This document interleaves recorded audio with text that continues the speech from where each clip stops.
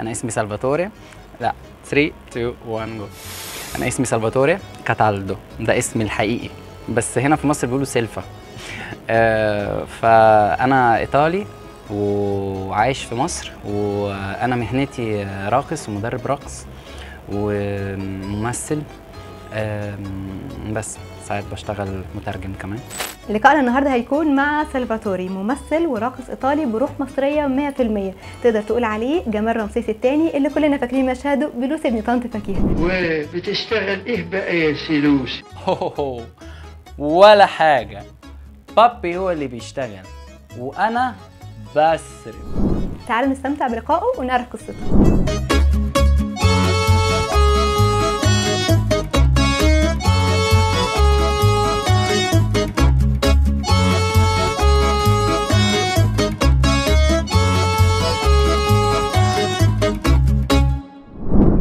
جيت مصر أول مرة وعندي 21 سنة. وكان هدفي إن أنا اولا أشوف مصر وكان عندي فضول آه، إن أنا أكتشف كمان العالم العربي. اللي شدني أتعلم عربي هو إنه العربي أصلا لغة أنا كنت سمعتها قبل كده يعني عن طريق فيديوهات أو عرب يبقوا برضو متواجدين عندنا في, في إيطاليا. وكانت اللغة بالنسبة لي معبرة جدا حتى لو أنا مش فاهم إيه اللي بيتقال بس كان كان هي بتعبر يعني كان لها آه، قدرة تعبيرية آه، قوية. زي زي مثلا لما لما ولد صغير بيشوف الباليه بيقول أنا عايز أبقى راقص بس هو مش فاهم حاجة فيه بس هو في حاجة بي بيشده لده. من أكتر الحاجات استغربت لها أول ما جيت مصر آه، طبعا الزحمة و... وإنه ناس كتير على وشها الابتسام. وايا كانت الطبقة يعني طبعا آه، آه، وايا كان غني آه، فقير ايا كان ايا كان هو مين بس مصر برضو بلد ناسها مبتسمة. فدي حاجة خلتني أحس إن أنا عايز أعيش هنا يعني أنا آخد طاقة إيجابية من الناس دي. والقاس وسبانخ مصرية والله. أكتر حاجة بحب آكلها والقاس أنا بعشق السبانخ اللي بالصلصة دول والقلقاس una mattina mi sono svegliato. Oh bella ciao bella ciao bella ciao ciao ciao. Una mattina mi sono svegliato e ho trovato l'invasor. كنت مأجر سكن معرفش هو فين وفجأة كده لقيتني من المطار لقيتني بعدي على النيل وقلبي كده انفجر لأن إحنا طول عمرنا يعني بنتربى قصة النيل ومصر القديمة والأهرامات وكده بالنسبة لنا دي حاجات مهمة جدا جدا جدا. آه، وبعدين آه، اللي حصل آه، هو إن أنا رحت حاضر بروفات تبع فرقة رياضة تمام؟ ابن المدير هو شافني في المسرح وقال لي أنا سمعت إن أنت الإيطالي ومش عارف إيه. قلت له أيوه تعالى معايا كده. فأخدني تمام؟ ولمدة شهور كل ليلة بننزل أنا وهو وأصحابه والشلة بتاعته هم بيلفوني مصر كلها فهم عرفوني على مصر بشكل يعني جميل جدا جدا جدا. أنا لفيت مصر معاهم من أول الأيام. أنا كنت بشتغل في مهندسين فكنت الصبح بركب من من من من جمال عبد الناصر آه، بركب عشان أروح الحتة دي. فكنت بركب آه، ميكروباصات. بوليه بوليه بوليه بوليه بوليه بيحور بيحور بيحور بيحور. طب لموا مع بعضيكم لو سمحتوا يا جماعة. طب في موقف حلو قوي بيحصل في الأول اللي تحتنا هنا. أنا اكتشفت إن هو أصلا بيبقى بيبقى فاكر أنا بشرب إيه. تمام؟ هو بالنسبة له المعلومة موجودة عنده. فمثلا أنا من قبل ما أقعد هو بيروح هات سادة سكيتو. فساعات بلاقي السادة سكيتو قبل ما أطلب. لا مصر فيها مرونة كده وحلوة. دي حاجة إحنا ما, ما ينفعش ما, ما ينفعش نعملها إحنا في بلدنا. نجيب أكل من حتة وبعدين نروح نقعد في الحتة الفلانية مثلا. في مصر دي مريحة جدا فأنا بحبها. إيطالي أول ما ينزل مصر آه بي يعني بعض الحاجات هيفهمها غلط. فمثلا أنا هقول لك أنا هشوفك الساعة 8 تمام؟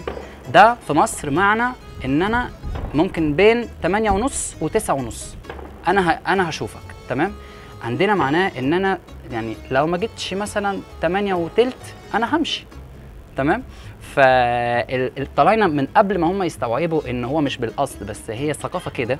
تمام؟ هيتعصبوا جدا. بعدين يستوعبوا الموضوع ده. في حاجة حلوة في المصريين إن هم آه يعني أنا بحس إنه آه المصريين بي بيسامحوا برضه بسهولة. يعني هم ممكن يتعصبوا بسهولة بس التعصب آه، شكليات بس هم بي بيسامحوا ب يعني بمجرد كلمة أو بصة كده آه، بيسامحوا بسهولة. فأنا بحب ده في مصر. يعني دي من أهم آه، ال- الحاجات اتعلمتها هنا بصراحة إن أنا أسامح بسهولة أكتر يعني. لا على فكرة اللي معروف من مصر في إيطاليا يعني على المستوى العام هو شرم الشيخ. يعني أي حد يتجوز يروح يعمل الهانيمون في شرم الشيخ. فأنا عايز أشجع الطلاينة إن هم يجوا مصر أكتر ويشوفها لأنها بلد لازم تتشاف. يعني هي بلد الجواهر برضو. معروف عندنا إنه في تاريخ طبعا في مصر لكن آه، يعني أنا كان كان آه، كان كنت أحب إنه الناس تتعرف على مصر أكتر. يعني أنا شايف إنه ال- ال- الناس لازم تعرف مصر أكتر. ماما. يا qui per te la mia canzone vola من وأنا صغير عايز أبقى ممثل تمام؟ بحب البرفورمانس بحب الاستعراض. آه ومن وأنا صغير بمثل وكنت بتعلم تمثيل. في المدارس اللي عندنا. آه لكن آه وأنا مراهق كده ابتدأت أكتشف الرقص آه فدورت على مدارس اوريدي في إيطاليا أبدأ أنا إيه أتعلم فيها. وطبعا كنت بروح في المستخبي لأنه عندنا برضو الموضوع مش سهل إن ولد يرقص ومش عارف إيه وكده يعني في ممكن يكون في شوية تحفظات كده ومفاهيم غلط. فكرة إن أنت بتتعلم كل الحاجات تمام؟ دي طبعا آه، اللي هي يعني دايما هيبقى في تخوفات من بالنسبة للمجتمع تمام؟ يعني انت عندك فضول في كذا أو فضول في كذا انت بس عايز تتعلم تمام؟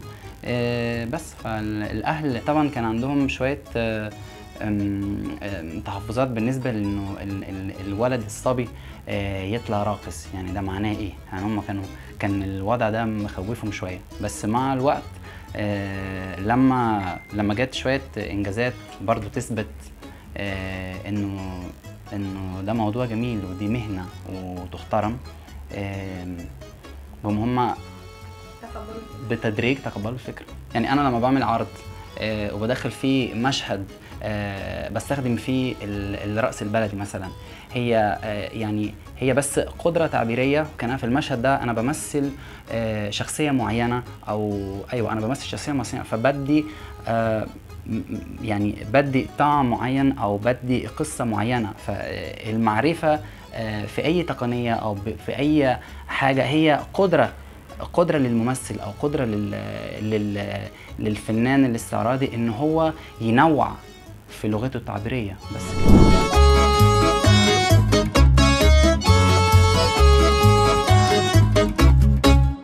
بالنسبة لل- للقبول أنا شايف إن الشعب المصري أصلا هو عنده مرونة كبيرة جدا إن هو يستوعب.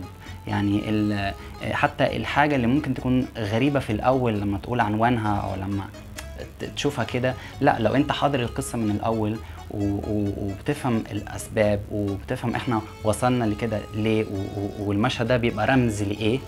لا الشعب المصري عنده قدرة إن هو يستوعب طبعا وأنا ما لقيتش ما لقيتش في صعوبات كتير إن أنا أعرض آه، آه، أصلا آه، حتى مشاهد ممكن نقول عليها صعبة التقبل لا لأن أنا باخد بالي إن أنا أثبت إنه الرسالة توصل لك هي جاية لي منين. يعني أنا مش جاي مش جاي أعمل فضيحة. دي مش آه، ده مش هدفي. بس أنا بس أنا جاي آه، أسيب آه، آه، أسيب آه، رسالتي. فعايز المسج يعدي ال- الرسالة توصل بشكل قوي. فبدور على أقوى حاجة تخلي عندك الانتباه. أنا أنا سميته مشهد لمنى زكي بس مشهد الرقابة قطع عارف آه، رحلة 404 كان في مشهد لمنى زكي هي بترقص في بلدي.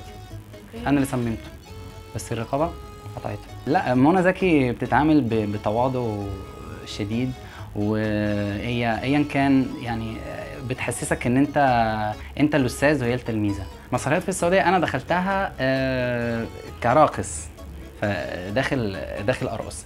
بس حصل مثلا إنه في ممثل سقط فطلعت أنا مثلت مع أحمد عايز المشهد ده. وحاجات صغيرة كده إيه بس طبعا أنا بفتخر بيها جدا. لو أصنف نفسي كفنان مش هقول آه، أنا راقص ولا أنا ممثل ولا ولا أنا واحد ليه في كل الحاجات دي؟ الليل ده كله كان امبارح يزيدني حرمان وقاسيه اتغير ليه؟ اتغير ليه؟ حتى السواد والضي حنين.